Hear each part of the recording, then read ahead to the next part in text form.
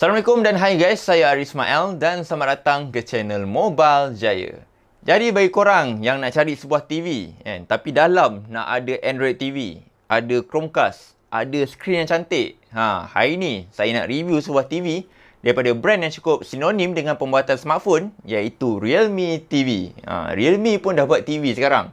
Actually Realme pernah buat produk selain daripada smartphone sebelum ni. Eh, contohnya macam headset, smartwatch, security camera, bros gigi pintar. So produk kali ni sebenarnya adalah salah satu produk di bawah ekosistem smart product Realme. Eh, sebab Realme TV ni merupakan smart TV. Jadi selepas pelancaran Realme TV ni di India masa bulan Jun hari tu, Realme Malaysia pun bawa masuklah Realme TV ni dengan dua model iaitu 43 inci dan satu lagi 32 inci. Jadi saya pun dah gunakan kedua-dua model TV ni lebih daripada 2 minggu dan tanpa melengahkan masa lagi, ini review saya untuk Realme TV.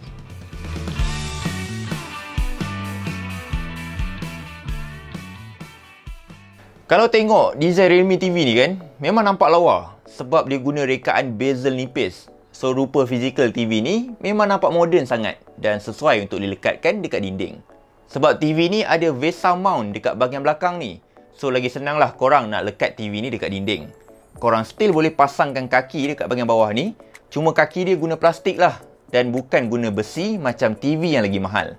Dan saya sebenarnya impress dengan port selection TV ni. Sebab dia ada banyak port. Sampaikan dia ada LAN port, 3 HDMI dan ada 2 port USB untuk bolehkan korang connect aksesori macam mouse, keyboard atau storage device. Cuma Slack dekat TV ni, Wi-Fi dia hanya support connection 2.4 GHz saja. So tak dapatlah korang connect dengan Wi-Fi 5 GHz. Tapi TV ni still ada Bluetooth 5.0, so korang bolehlah connect dengan headset, gamepad dengan sambungan low latency. Dari segi skrin, apa yang membezakan kedua model ni ialah resolusi.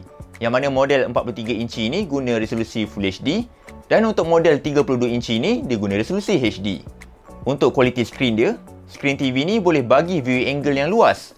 Ada support untuk decode dan play content HDR10 dan mempunyai teknologi Chroma Boost Engine yang boleh tingkatkan brightness dan warna yang lebih terang. Cuma saya perasan TV ni kalau tengok dekat-dekat memang akan perasan pixel dia sebab resolution dia rendah. Tapi untuk normal use memang tak nampak lah sebab orang biasa tengok TV pun mostly dari jarak yang jauh.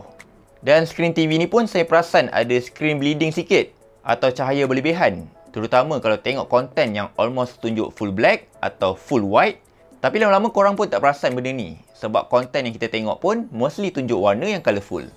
Dan untuk speaker TV ni, dia guna setup quad stereo speaker 24 watt yang mana terletak dekat bahagian bawah TV ni. Speaker dia kalau buka low volume pun dah memang kuat. Cuma saya tak sarankan korang naikkan volume tinggi lagi sebab speaker dia nanti akan dengar bunyi pecah sikit. Tapi untuk kualiti dia memang best siap ada support untuk Dolby Audio lagi. Cuma saya harapkan dia punya bass tu lebih jelas untuk tingkatkan lagi experience sound dia. Dan disebabkan Realme TV ni merupakan smart TV, so dalam dia pun macam smartphone jugalah. Yang mana kat dalam ni pun dia guna chipset quad-core daripada MediaTek, memori 1GB RAM dan internal storage 8GB. Dan untuk OS dia, dia guna Android TV yang certified daripada Google berasaskan Android 6.0 Pie yang mana interface dia memang clean nampak stok je tanpa sebarang customization. So dengan adanya Android TV ni, korang bolehlah install apps daripada Play Store. Cuma saya tak sarankan korang install games lah sebab storage dia kecil. Tapi kalau setakat nak install apps Android TV biasa, memang rasa dah cukup sangat storage ni. Dan untuk performance dia, kalau nak navigate, buka apps, memang nampak responsif. Cuma masa nak tukar antara apps tu akan nampak kesan hiccup sikit. Tapi overall performance dia memang dah just nice untuk basic operation Android TV.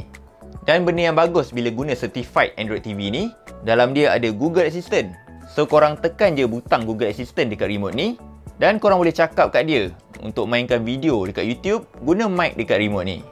Cakap pasal remote, remote TV ni guna Bluetooth 5.0 dan infrared connection. Tapi saya suka dengan design dia sebab nampak compact je, butang pun nampak simple dan Realme siap bagi bateri lagi dalam kotak. So masa setup TV ni, boleh terus guna remote ni. Dan sebelum saya terlupa, TV ni pun ada support Google Chromecast. So korang bolehlah nak cast suatu konten daripada phone korang ke Realme TV ni. Nak mirror screen phone pun boleh. Just enablekan je option ni dekat phone korang. Tak perlu pun install sembarang dongle tambahan dekat TV ni.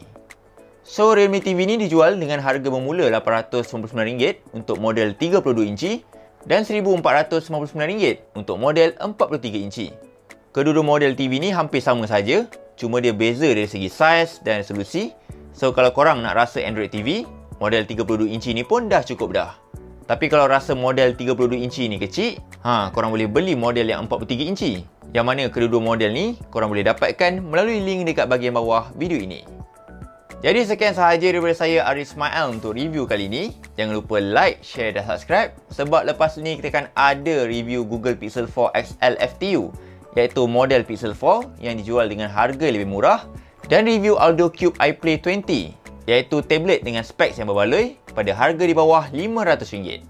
Macam biasa, kalau korang ada sebarang soalan ke cadangan ke, jangan segan silu untuk tinggalkan dekat bahagian komen di bahagian bawah ini.